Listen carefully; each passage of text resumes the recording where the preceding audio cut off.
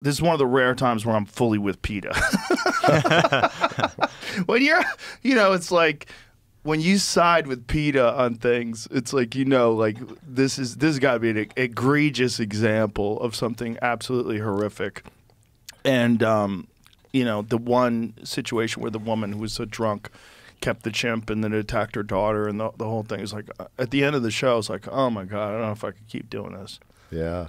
No, it's interesting you mentioned PETA because I'm not fully aligned with PETA on a number of things, but in this case, I I am aligned with PETA. Um, but just to touch on PETA, you know, you know, I work with reptiles and I try to save turtles and tortoises, which um, actually are the most endangered group of animals, along with primates. Uh, if you turtles and tortoises, really. If you think about the percentage that are on the brink of extinction, over half of primates are on the brink of extinction, uh, and over half of turtles and tortoises. I had no idea. But where I am not aligned with PETA is when you have to make a choice between, you know, eradicating a rat that's killing off the last Galapagos tortoises or, or eradicate a mongoose that was introduced that's killing off, you know, an iguana in the Caribbean. I will make that choice. PETA basically views it as the rat has rights just as much as the tortoise, mm. and I'd like to have the tortoise around for future generations. So, um, so I'm not always aligned with PETA, but in this case, yes. Well, they they have a background with the Animal Liberation Organization, which essentially doesn't think that any animals mm. should be captive and I I do understand their point, but then you have Carl.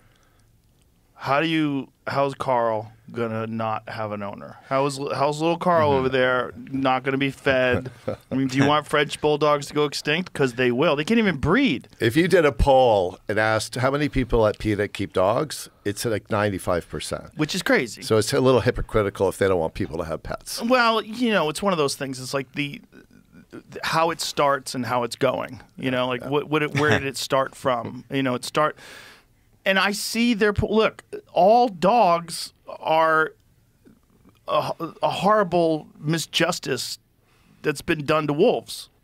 Like we yeah. somehow or another we have yeah. become friends with wolves and yeah. turned them into these strange things. But the reality of life in 2024 is we have dogs you know and you know dogs need owners and they, they love you and they it's a great relationship like but it's in their genetics right yeah. i mean they've been Thousands, thousands, thousands, thousands, of years. We, right. It's we, like saying that we yeah. should be going back to chimps. Yeah. Sure. We should live in the jungle. Yeah. We should we should live in trees, which is also crazy. What is it, Erica? We are, uh, chimps are more like chimps than we are human. Is that? Chimps are closer to us than they are gorillas because we are the subfamily of chimpanzees, which are called hominins.